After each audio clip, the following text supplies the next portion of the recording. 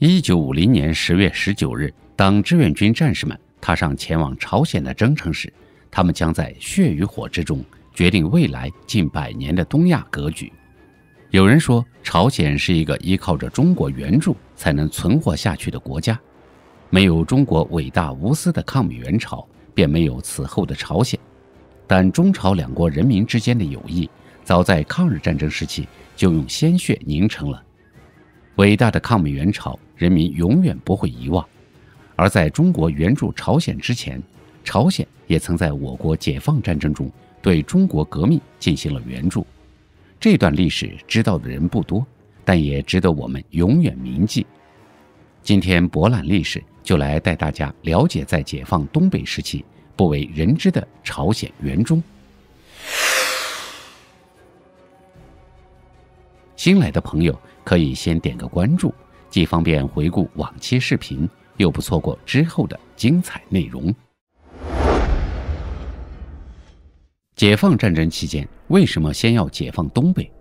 关于这个问题，早在抗战胜利的前夕，中国共产党就将东北看作是战后全局工作的重中之重。而关于东北之争，蒋介石也不甘示弱。在一九四五年八月十四日，即日本投降的前一天，蒋介石急忙与苏联签订了丧权辱国的中苏友好同盟条约，用同意外蒙古独立。以及租让长春铁路、旅顺、大连为代价，换取苏联将一切援助给予国民政府，并且只能由国民政府接受东三省的承诺。但论对东北的重视程度，蒋介石却并没有将其排在第一位。国民党和蒋介石关于战后的设想，着力点放在了上海、南京、北平、天津、武汉、广州等大城市上，这些地方是中国的富庶之地。也是国民党统治的心脏地带。国民党六大上，蒋介石六次讲话没有一次提到过东北，而毛主席的想法却恰恰相反。在毛主席看来，如果我们把现在的一切根据地都丢了，只要我们有了东北，那么中国革命就有了巩固的基础。此后，延安提出的向北发展、向南防御的战略方针，甚至一度想独占东北，就是循着这条思路来的。一九四八年，东北人民解放军经过长期苦战，在克服了一系列的困难之后，到了四八年夏秋，东北的战局已经彻底被解放军所扭转。东北百分之九十七的土地面积和百分之八十六的人口获得了解放，东北解放区工农业生产得到了发展，尤其是经过东北征战之后，练就出一支上山霹雳、下山迅猛的东北虎军。东北人民解放军总兵力已发展到了一百余万人，装备得到大幅改善，士气高涨，亟待南下扫清战局。在完成这一切之后，一个在背后默默支撑着解放军鏖战东北的友邻，也露出了久违的笑容。他就是朝鲜。让我们将时间拨回到一九四五年秋，解放军首先进入东北，就遭遇了第一个难关。一九四五年八月八日。苏联宣布对日本宣战，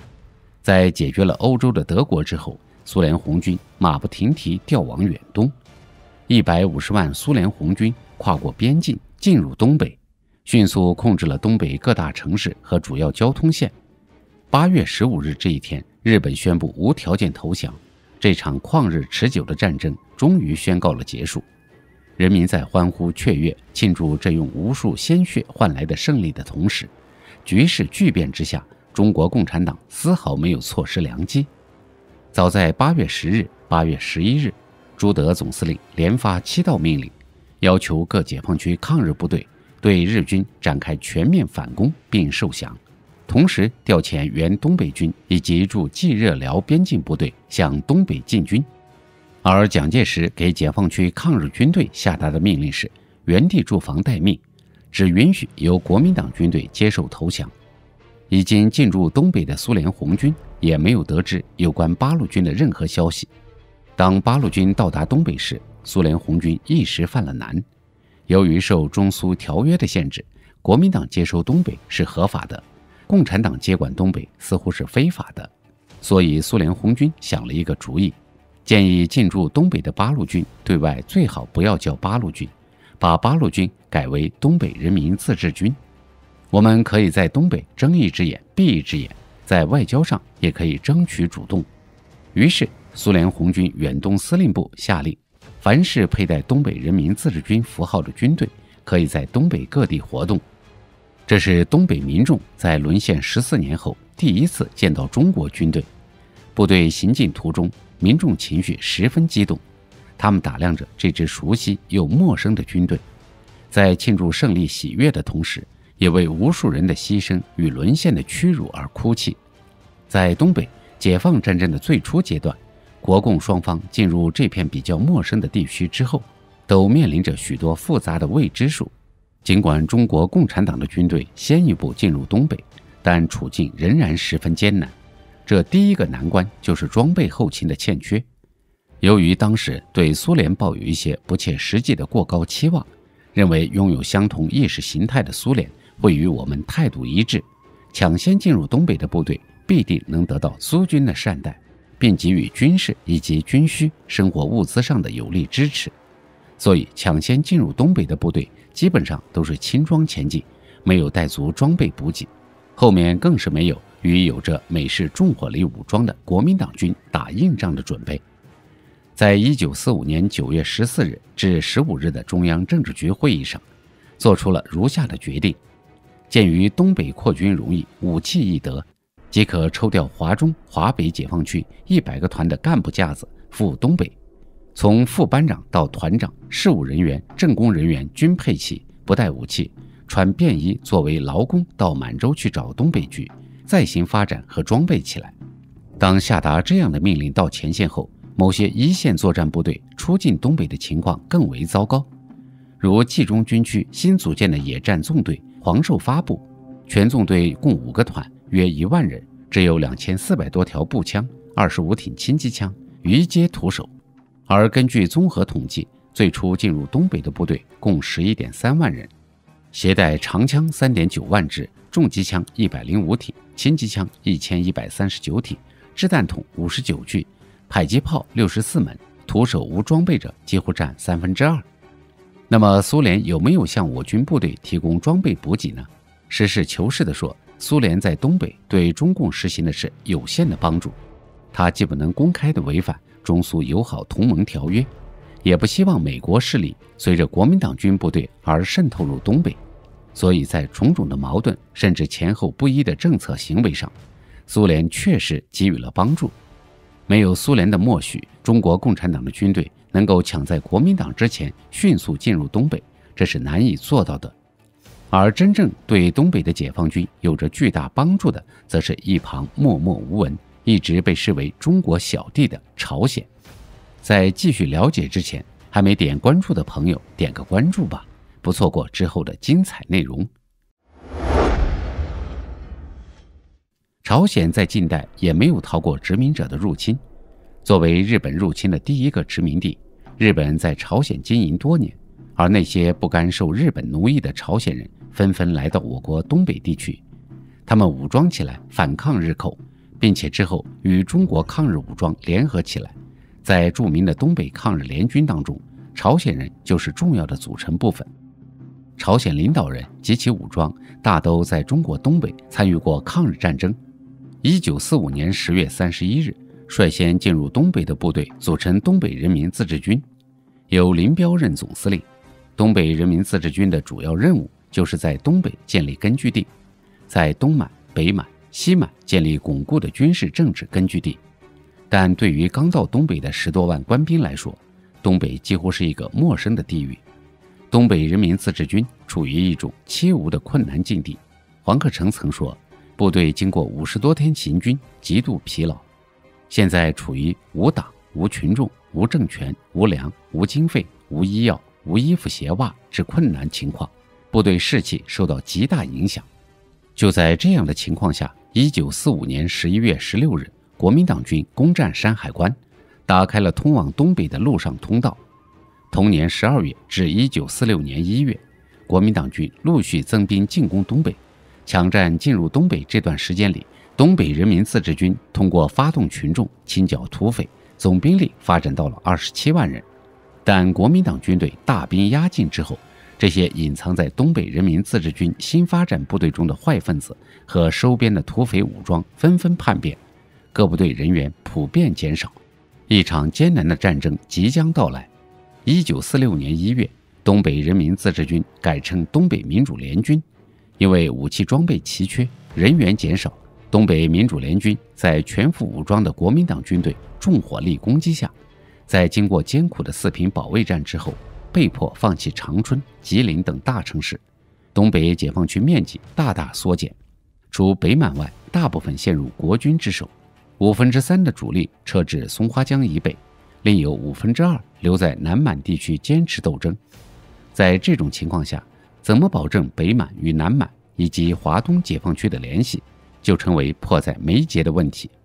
和中国一水之隔。两国边境线长达八百公里，水陆交通紧密相连的朝鲜，就成为了东北交通要道被阻隔情况下沟通北满与南满、关内与关外的重要走廊。早在一九四五年十一月，当我军向朝鲜方面提出，在必要的时候把部队的伤病员、军属和后勤部队向朝鲜境内转移，并且有一些机关和部队需要借道朝鲜转移到北满时，朝鲜方面当即表示，如果你们在战斗中有困难，朝鲜是你们最可靠的后方。一九四六年十月十九日，国民党军兵分三路向包括安东在内的辽东解放区展开进攻。根据事先制定好的战略转移计划，我军从容地通过朝鲜境内向长白山区根据地转移，同时将后勤物资、家属和伤员转移到朝鲜境内。朝鲜对中国革命事业的帮助可以说是倾全国之力。在日战时期，日军曾在朝鲜北方建造了大量的军事设施和仓库，储备了大量的武器。在两年多的时间里，我军先后从朝鲜接收、运输了两千多车皮的作战物资，这其中包括甘油、雷管、导火索和弹头等，几乎将日本留下来的陈货都搬空了。这里面有朝鲜无代价支援我们的。也有通过物资交换的，除了向中国提供物资，朝鲜做出的最大援助就是协助转运东北急需的物资和运送过境人员。一九四六年六月，国民党军占领了中长铁路，切断了北满和南满两个根据地之间的联系。这条铁路是连接沈阳至长春等城市的主要交通线，如果不能打开通路的话，不仅使整个东北解放区的经济陷入困境，也会对战争中的后勤补给带来严重困难。在多方努力之下，我军在朝鲜先后开辟了四条主要的水陆交通线，其中两条陆上交通线分别是安东及丹东经新义州、南阳至图门，另一条是从通化经吉安、满浦到图门。这两条交通线贯穿朝鲜北部。沟通了当时被战争分割的北满与南满，两条海上通道分别是大连到南浦、大连到罗津。为了帮助中国完成运输任务，朝鲜不惜停止自己的客运，为中国装运急用物资。根据不完全统计，从1947年下半年至1948年初的九个月内，通过朝鲜北部转移和交流的物资，如煤炭、粮食、食盐、布匹和其他工业品。多达五十二万余吨，过境人员两万余人。在东北战局没有得到扭转之际，想要安全进入东北进行物资和人员运输，只有借道朝鲜这一种方式。同时，朝鲜不仅接纳了东北民主联军后方医院撤至朝鲜境内，而且还直接参与帮助救治伤员。通化安东失守之后，辽东一点五万多名伤员家属人员撤退到朝鲜。直到通化安东收复之前，仍有五千多人；收复之后，也还有两千多人留在朝鲜境内。以朝鲜当时的条件和处境，这么多的伤病员长期分住在当地老百姓的家中是很不容易的。为此，朝鲜方面做出了大量的工作，甚至在东北战事最为不利的局势下，朝鲜做出的一个令人感动的承诺。愿意接收东北民主联军进入朝鲜境内进行休整补充，朝鲜甚至愿意提供武器和人员。此后，东北民主联军稳定住局面，并没有撤至朝鲜，但朝鲜政府依然鼓励朝鲜人民以志愿者的身份加入东北民主联军。根据1947年的统计，参加东北民主联军正规部队的朝鲜人就有12万之多，加上参加地方部队的朝鲜人，先后共有25万朝鲜人参加中国共产党领导的武装力量。这些朝鲜人民秉承着国际主义精神，立场坚定，作战勇敢。其中第四野战军四十三军幺五六师就是一支朝鲜人和中国人混编的部队，曾被授予“人民英雄”的称号。